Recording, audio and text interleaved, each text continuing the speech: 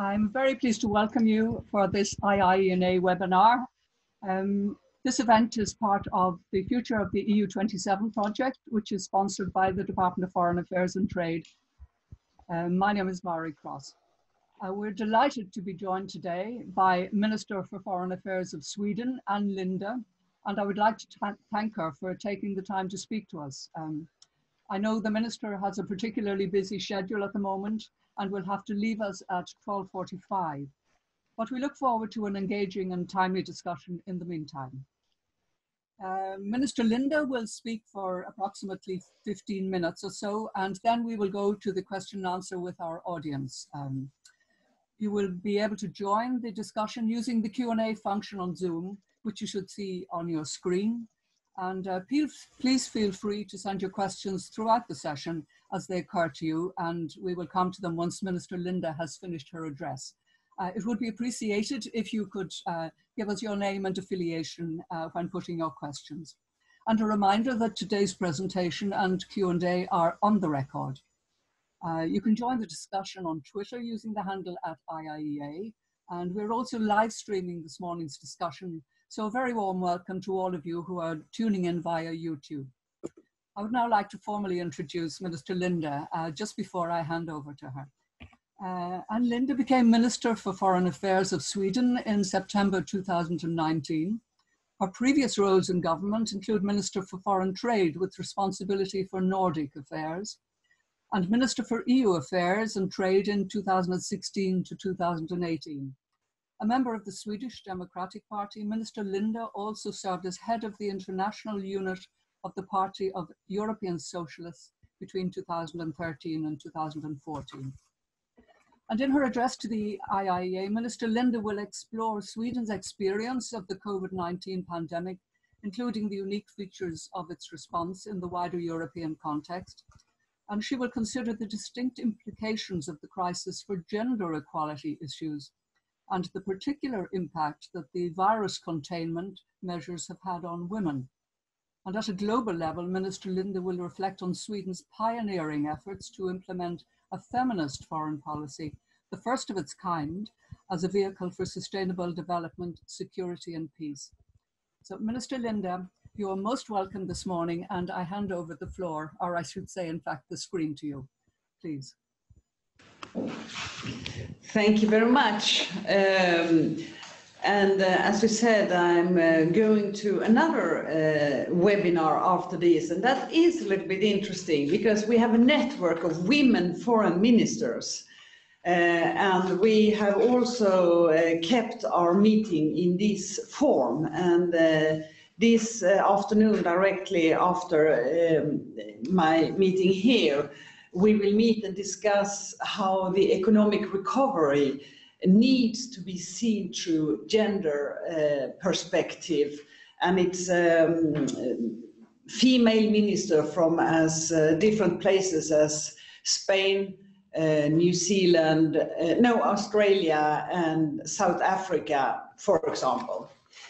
But I'm very happy to be here at IIEA um, and speak at this webinar. I've had the pleasure to visit you uh, in person uh, when I was Minister of EU Affairs. Uh, and it's great to join you for the, this discussion and share our experiences of the COVID-19 pandemic and discuss the implication of the crisis for gender equality issues. I might as well start by addressing the debate whether or not Sweden is going against the grain when it comes to managing COVID-19. Well, we have the same strategic goals as every other country, and that is saving lives, slow down the outbreak, ensure that Swedish healthcare system will cope with the extraordinary challenges and mitigate the effects on business and jobs. Our strategy is based on social distancing, staying at home with even the slightest symptoms, and protecting older and other risk groups. This is done by a mixture of strong recommendations and legally binding measures. And people are following the recommendation to a high degree. They know this is not some kind of tip that you can follow if you want to or not. As one example, during Easter holiday, travels to the most popular vacation destinations went down with 96%. It's a fact that trade and our economy has been severely hit and the unemployment numbers are worrying. So no, it's now not business as usual and we are not casual about the pandemic. In Sweden, we have slightly different governmental structure with small ministries and large autonomous agencies dating back centuries. There luckily is a high degree of trust in the state and the autonomous agencies and scientific advisors know this. We are used to listen to scientific advice from our expert authorities and mostly follow them. One reason is that corruption is very low. People rightly believe that recommendation is not because political or economic favors to give the advice. We do know that the virus is highly contagious and high quality healthcare helps. We do not know enough about mutations, immunity, second waves, and the long-term benefits of lockdowns or not lockdowns. In sum, we should all be humble to different national strategies and focus on cooperation. The COVID-19 crisis affects men and women in different ways. Therefore, measures to resolve the crisis must take gender into account. Women and girls are in the front lines of healthcare and severely affected by economic decline. In addition, they are often outside social protection system. Women still bear most of the responsibility for unpaid work. And when this work is carried out by professionals, these professions are often low paid. The COVID-19 crisis has, share, has shared even more light on these grave gender-based differences. In building back after the crisis, we have a chance to ensure that measures also build back better for women and girls. Violence is the most extreme form of oppression and one of the most serious barriers to women and girls' enjoyment of human rights. In the COVID-19 crisis, women and girls are at particularly at risk of becoming victims of sexual and gender-based violence. Under conditions of quarantine, women and children who live with violent and controlling men are exposed to considerably greater danger. We must ensure that women's shelters and assistance are maintained and strengthened. Sweden has provided more resources to local governments and civil society groups for measures such as emergency housing, telephone helplines, etc. In addition, the COVID-19 crisis, the provision of sexual and reproductive health and rights services are at risk, including prenatal and maternal care and access to contraceptives and safe abortions. Sweden pushes for SRHR globally and has substantially international funding for these issues. In the aftermath of the COVID crisis, women risk being hit harder by the economic downturn. Women's position in the labour market is less secure and women's personal finances are weaker than men's. Given these differences, it is critical that economic crisis response measures account for women's situation. Sweden will be one of the leading countries in a global action coalition on economic gender equality. Sweden has a feminist government and gender equality is at the center of its national and international work. Sweden became the first country in the world to launch a feminist foreign policy and has also launched a feminist trade policy. Sweden's feminist foreign policy is based on the conviction that sustainable peace, security and development can never be achieved if half the world's population is excluded. It's an agenda for change and a results to strengthen the rights, representation and resources of all women and girls. Today, all countries are facing the same crisis and none will prevail over COVID-19 by acting alone. Therefore, all of us must work to ensure that this one built on solidarity and partnership. Governments, the EU and the international community must show leadership. Let me also briefly mention some of the economic long-term effects of the COVID-19 pandemic. Although we are in the middle of the immediate crisis with grave consequences for life and healthcare and an economic downturn at hand, we need to keep an eye on the important geopolitical trends and the long-term impact of COVID-19. There are three major trends we can now see in what can only be described as the worst pandemic of our time.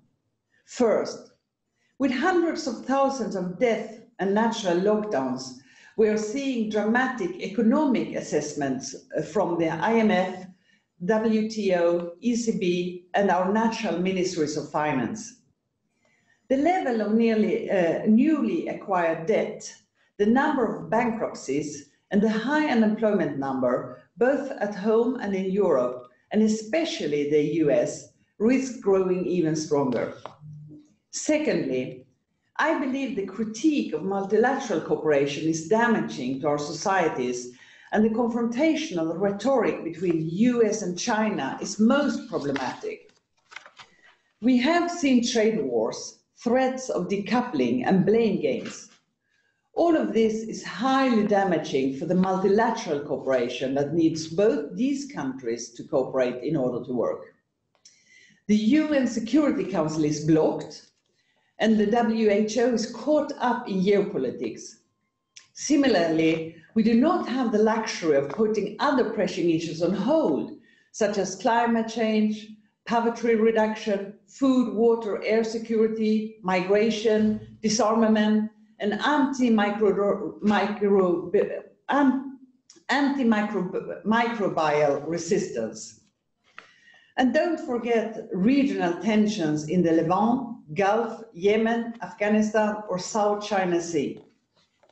Thirdly, the EU must play a more central role now and after the end of the immediate pandemic is over. All EU member states have implemented some degree of limitations to personal freedom as a consequence of COVID-19. This is a natural, important political move, but I fear that the pandemic has been an excuse for some countries, including some EU members, to take political decisions that would normally undergo parliamentary scrutiny in a way that is now impossible. It's also a fine line between self-sufficiency and protectionism, and suddenly we are talking of autonomy in Europe. I fear this is a slippery and less efficient and more expensive slope. We cannot abandon free trade as this would hurt all our economies and lives of Europeans everywhere. I fear the world is increasingly moving in the direction of greater fragmentation, something we must counter. I also fear it will take time to retake what has been lost in democracy, free trade and liberties. It's a fact that no one center of power, be it China, US, EU or India, can alone lead, much less dominate the world today in any area. Only by coming together will, will we be able to create momentum and produce global change. And that is what we would need today in monitoring, managing and curing this current threat. In recovery, the EU must make the case actively that democracy and high normative standards are good for stability, security and economic growth, even as we grapple with the current crisis. We need to keep EU together. We need to maintain strong relation with the United States, not only for transatlantic security, on which we are all dependent, but also the US key role in multilateral institutions and as a key guardian of democracy, human rights and freedoms. I had, for example, a long and constructive talk with my American counterpart, Secretary, State, uh, Secretary of State Pompeo, a few weeks ago. We also need a di decent dialogue with countries that we do not always agree with, including Russia and China. We need them on board and we need them to be part of the global solution. But also within Europe, we need to work together with like-minded to maintain high standards and develop pragmatic cooperation. For Sweden, Ireland is an important partner in this regard.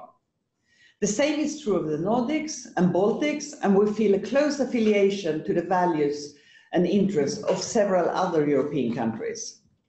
So in conclusion, now it's the time for humility and realism. Now is the time for cooperation, compromise, and a common vision. And I believe that putting a gender perspective on this crisis is essential for full and more equal recovery. Thank you very much for listening. Thank you very much indeed, Minister, for that wide-ranging um, uh, address.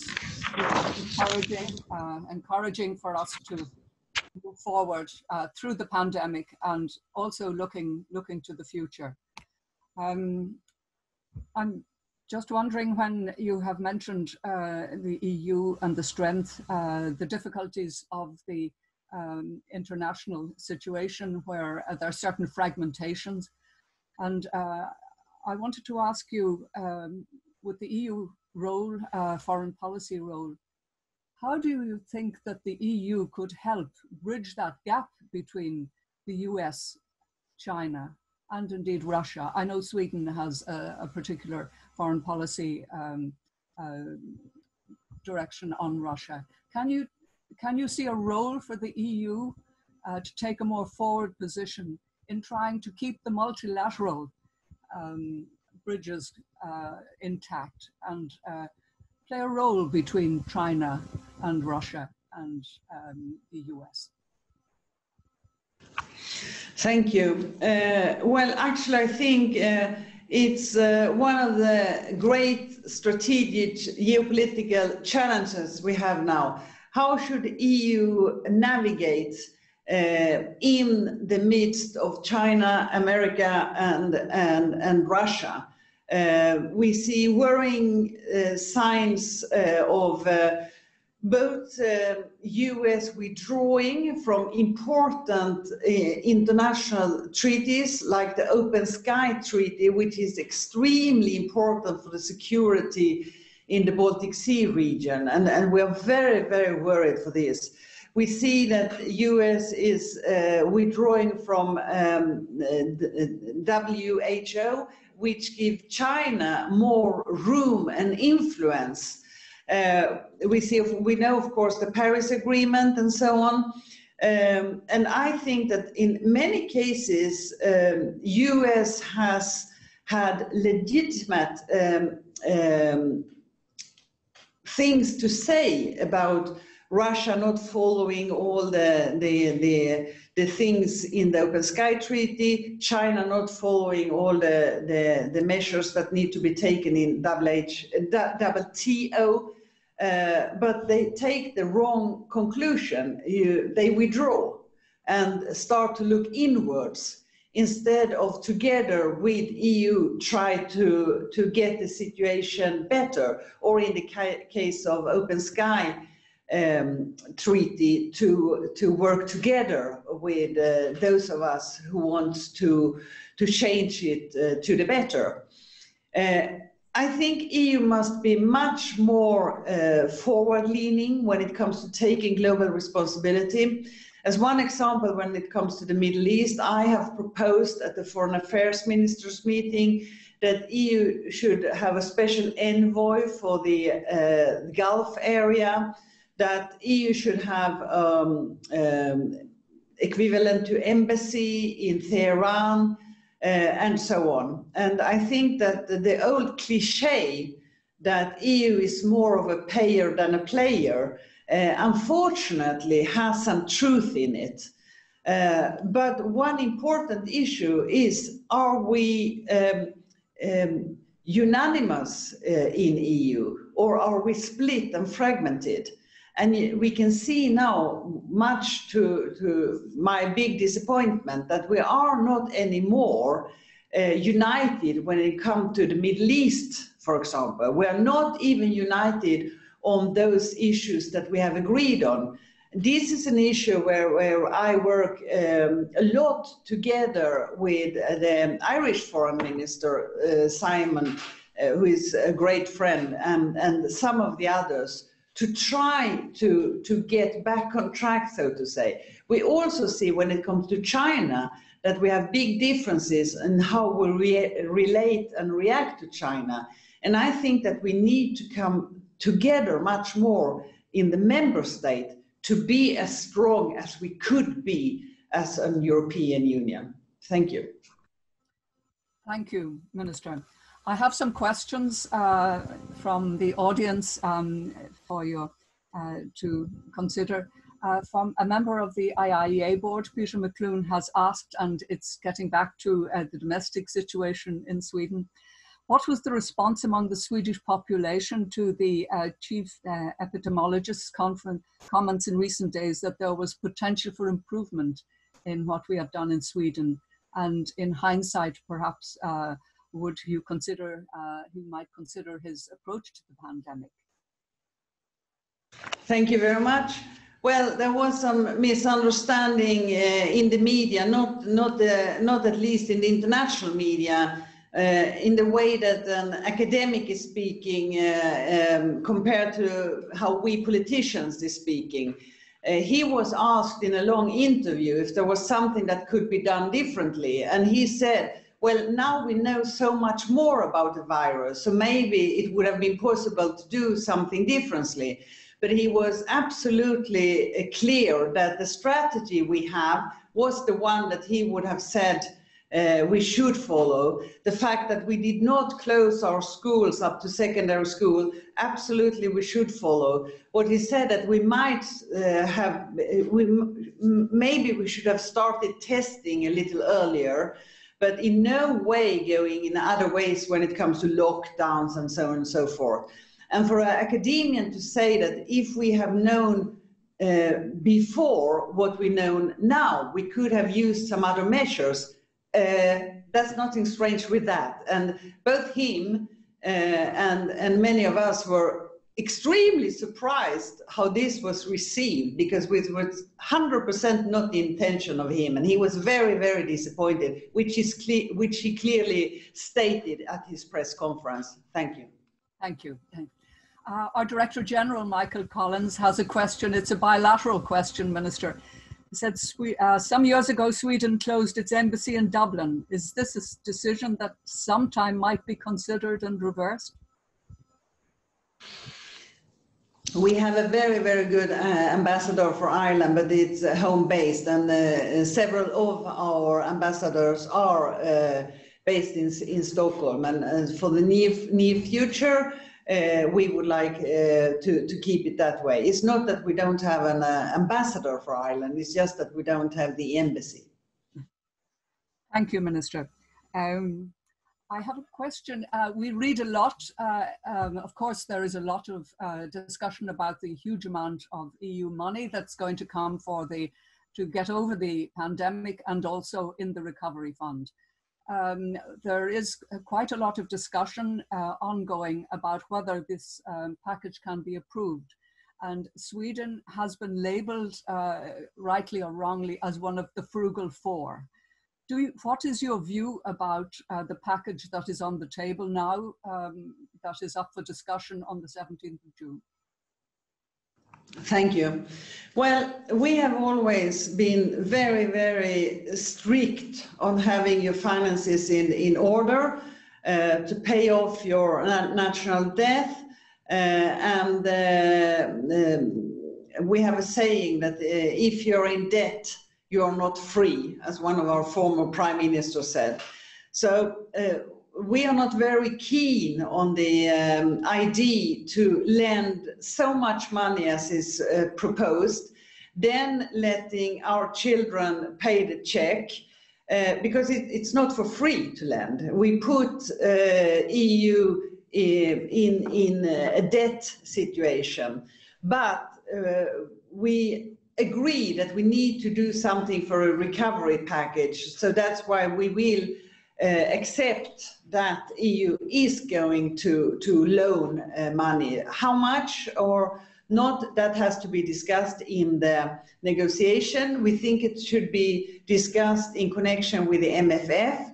We are not very keen on um, getting grants. We want uh, we want the countries to get uh, loan uh, uh in, instead, but with of course um, uh, good conditions. With good conditions.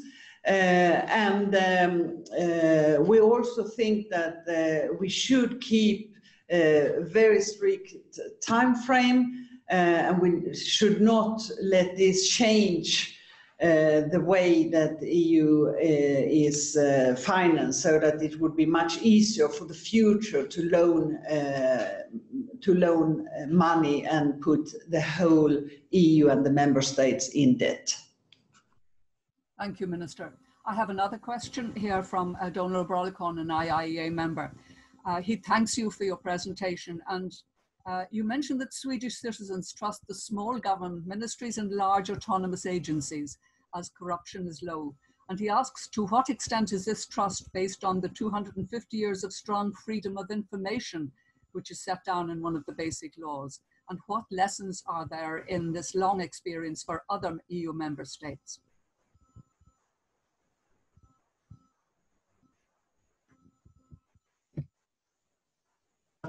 Well, um, we, uh, it was already in um, uh, 1600 and then 1700, um, 1630, I think, and 1700 and something, that we uh, got our way of governing.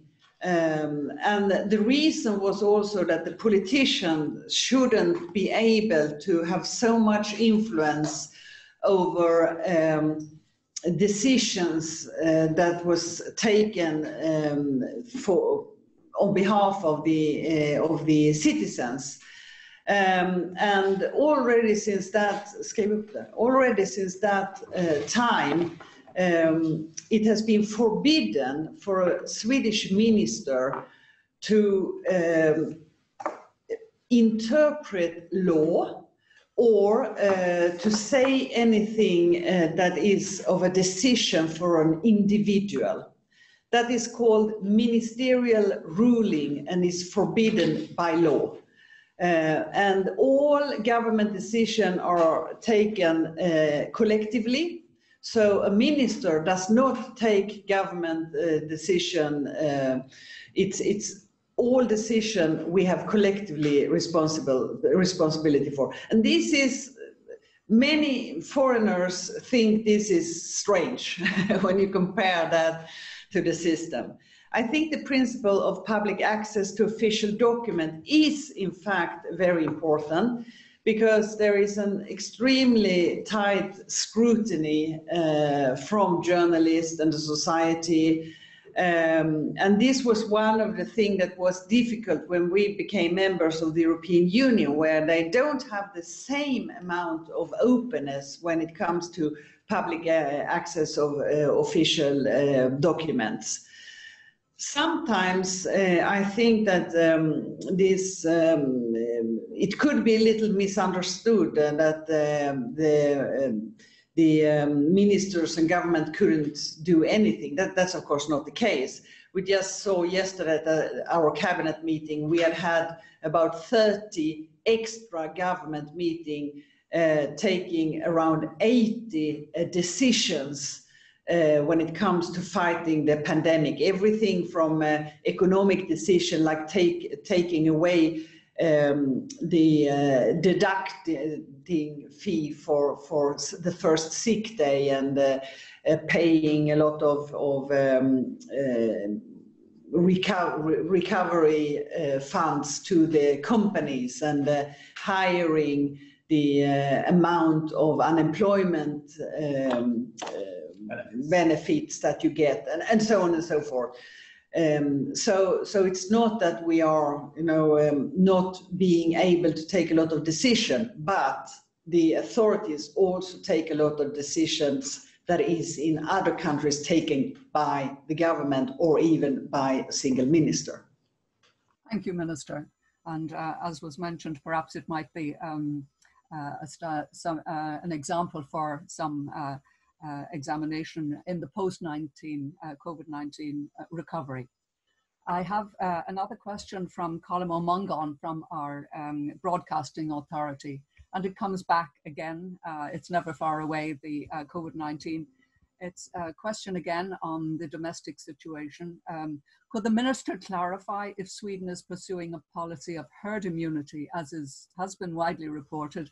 And if so, given that it's no means clear that herd immunity for COVID 19 is possible, just to see uh, uh, what your view is uh, on uh, in that area.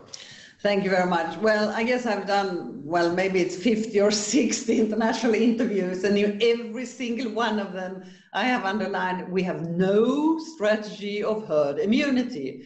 And unfortunately, because President Trump said that we had herd immunity, it seems that it's extremely difficult to get this myth away. We don't have a strategy of herd immunity, but eventually we will get herd immunity because that is what happens when you have a pandemic. Uh, uh, and that is something that will happen uh, um, sooner or later.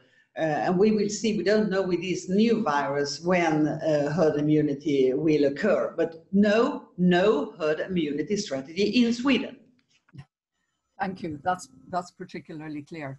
Um, could I ask you, Minister, uh, as I mentioned, that you have a very unusual um, feminist foreign policy and you have an action plan for feminist foreign policy. Uh, could I ask you to assess uh, how successful this has been to date and do you feel the COVID-19 will be an inhibition in, in uh, implementing your, your foreign policy, this unusual foreign policy, which as you say is a leader internationally? Well, thank you. When we started with this uh, about six years ago, there was a lot of laughter, um, not the least from from uh, men. Uh, and now uh, we can see how much uh, effect it has actually had. And we have um, several countries who has now decided to to pursue uh, a feminist foreign policy. The latest the country were Mexico but we also have uh, um, the uh, part or a whole in, in France, in Spain, in um, Indonesia, in Canada. in Canada, and so on. Um, we've said that you should always ask yourself, uh, where are the women? You should look at the resources, you should look at representation, uh, and you should look at rights for uh, women and girls. Uh, that means that, uh, for example, when we uh, decide about our development cooperation, we need to put our gender lenses on. And uh, we have now, uh, as a result of feminist foreign policy, trained thousands and thousands of midwives, as one example, and worked against gender mutilation. This uh, period, we have three um, priorities, is women, peace and security, is the economic and social situation for, for women, and is social and reproductive health and rights. And I can take one example from the uh, women, peace and security, um, and, and, that is we know um, for after a lot of, of studies that if women are part of um, peace treaty, the, uh, the, it's uh, more likely to be a viable peace.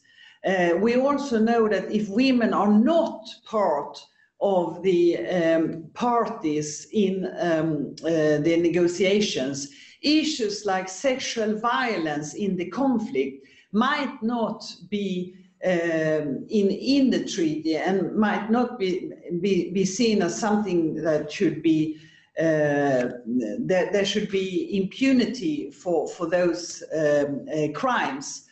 Um, we um, want to have women in all uh, negotiations we asked, for example, the Yemeni um, delegations that came to Stockholm for a United Nations-led talks on Yemen to have women in their delegation. Uh, unfortunately, only one of the delegation managed to get one woman in. So then we, together with the uh, United Nations, invited a whole group of women to stay at the same hotel, which is far, far away from at the outskirts of Stockholm, so I really had to stay there for the week. Uh, meaning that those women could get their inputs because they met all the people uh, during the lunches and breakfast and everything. And uh, I met uh, the, the um, Yemeni women uh, who has been active in peace and peace building when I, uh, as the only minister uh, so far, spent uh, a full day in Aden in Yemen. and I was so impressed by their insights, their clarity, and um, I was was really really sure that things would be better if uh, the women were more involved. But you have to do it consciously, and this is nothing that comes uh, just by chance. If you don't have the gender glasses on, nothing will happen. Thank you. Um, your last remark, I think, is is particularly pertinent. Uh, another question from Padraig Murphy, who's the chair of our IIEA Foreign Policy Group. Would Sweden still characterize itself as neutral, or would you say you have a special relationship with NATO? Thank you. No, since um, roughly 20 years ago, we changed our security policy from neutrality to military non-aligned. Uh, so we are military non-aligned uh, with a close partnership with NATO and with uh, bi and multilateral agreement. For example, we have an agreement in the defense area between Sweden, Finland and United States. Uh, we have a, a special relationship together with Finland, with NATO. Sweden and Finland has a special uh, relationship um, and uh, that is how we uh, we build uh, our secure, security. There is no uh, plan and there is no public majority for uh, NATO membership. Thank you. Um, Sweden and Ireland work together very well in um, military missions abroad, both in the UN and in the EU, and uh, we appreciate that very much. Um, I have uh, a couple of further questions, and I know time is, is getting short. Um, I have a question from our communications director, Hannah Deasy. It's how does how do you see, Minister, the future of the Convention on the Future of Europe, uh, whether it can take place? Do you feel it's it's going to be worthwhile, or with the uh, health restrictions, will that be difficult? This is the conference on the future of Europe, which uh, Ursula von der Leyen has uh, uh, has um, proposed, where um, citizens' views would be listened to throughout all of the EU. Uh, it was supposed to start in May, but uh, now it has obviously been postponed, perhaps until September. Do you feel that this will be a useful exercise? Uh, first, let me say hello, Hannah. It's a dear friend of mine, so hope you're well. uh, well, I think it's a very interesting idea, and I think that uh, uh we could see in uh, in several cases where EU has really seriously have dialogue with their their citizens. It has worked. For example, the issue of social uh, protocol, uh, there was tens and tens and thousands of IDs coming from uh, uh, um, ordinary citizens all over Europe that uh, could be used in a constructive way. Sometimes it's difficult because you raise hopes among citizens that they um, the ideas should lead to concrete changes in, for example, the statutes of EU or what EU should do. And then if that is not fulfilled, there could be um, disappointments. So I think it's very, very important on how you do these, do, do these things. Um, so that you get uh, ideas, uh, opinions, uh, that they are being managed in a good way, but that you don't give the hopes that now you will change a lot that from the beginning you know that you will not do, then there could be a backlash. I have been uh, experienced that firsthand uh, when we had our uh, um, referendum on EU, when we invited to to um, a big conference for for citizens, and then we promised to publish a lot of uh, things, and we couldn't uh, fulfill the expectations of of uh, many people. So the way you do it, I think, is very important. Thank you very much, Minister. We have just um, a few more minutes left. Uh, I wanted to ask a question of my own. Uh, I think uh, there is, is uh, huge upset internationally at the level of domestic violence, which you highlighted in your talk during the pandemic. The, the figures are, um, are horrifying and astonishing. Um, I, do you have any proposal that uh, states can uh, deal with this situation uh, that has um, emerged particularly during the pandemic. you have looked at it in great detail and you with colleagues, other foreign ministers, uh, have you come to the conclusion that there are measures that could be taken by states individually uh, that can deal more firmly with this, uh, with this situation? Well, I, I, I think that um, the most important thing is to provide more resources, and that should be for telephone helplines, for sheltered housing. Um, you could, all, in different countries, they have also come up with ideas, uh, as for example in France, uh, when they uh, saw that the domestic violence was uh, in the rise, they had a campaign so that you should be able to uh, when when you were were getting uh, recipes from from the, um, the pharmacies, you could write a, a specific number so that then the the pharmacists know that this is a woman who needs help without them having to say something. So um, it is uh, uh, possible, but sheltered housing, telephone helplines, um, we have uh, uh, provided an extra 10 million euro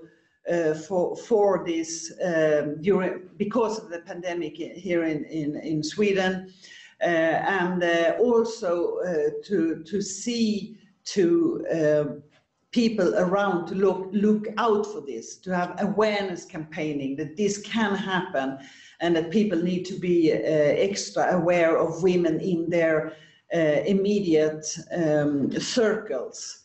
Uh, and then ask, uh, is everything all right or okay? Because we know that this is, is happening in many, many gangs. That's also reason why we kept our uh, schools open uh, for uh, child abuse because we we got the expert advice that there is not much ID when it comes to hindering the virus to close the schools. Um, and uh, one effect uh, would be that the children in homes with child abuse, they have uh, kind of a safe haven in the schools. And that was one, one of the aspects uh, when we decided that we should not close the schools in, in Sweden. Thank you, Minister. I think uh, we are up against the time slot, and as you said, you have a very important meeting to attend. You, thank you for um, for your address, and thank you for raising the issues and and uh, bringing to our attention the very important policy initiatives that Sweden has taken.